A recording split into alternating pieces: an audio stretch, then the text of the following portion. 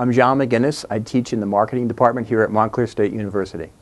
I think marketing is valuable for everyone. And, and, and what I usually tell the students on day one when we first have our, our first session is that it doesn't matter whether or not you're going to be in marketing or not. We all benefit from marketing. Uh, you are going to be in the job search at some point in your life.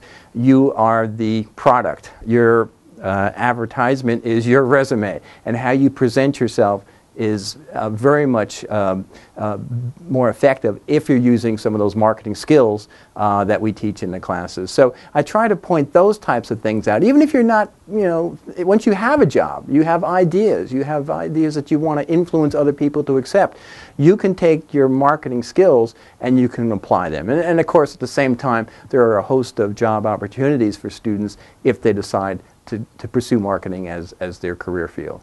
That, that marketing entails uh, opportunities in market research that they perhaps never thought about, customer service perhaps that they hadn't really thought about. Uh, we even get into the retail side of it since I work with the retail program. We talk about buying positions. So uh, part of the challenge is uh, getting them to see the field as more than just sales, you know, more than just advertising.